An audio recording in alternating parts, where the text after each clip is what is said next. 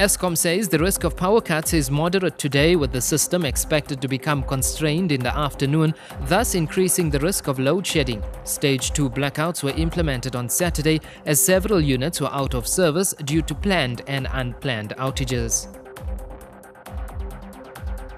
The Rea Vaya bus operating company, Piotrans, has announced that it has dismissed striking bus drivers. The 158 drivers were dismissed after they abandoned their buses two weeks ago without explanation. Spokesperson for Piotrans says the majority of bus drivers failed to heed the call to appear before a disciplinary hearing.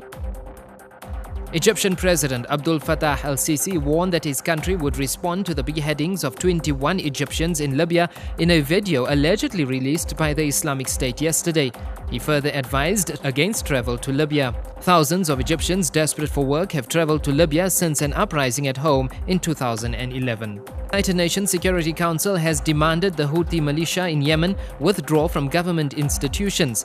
It further called for an end to foreign interference and threatened further steps if the violence does not stop. The 15-nation Security Council yesterday unanimously adopted a British and Jordanian drafted resolution on the crisis.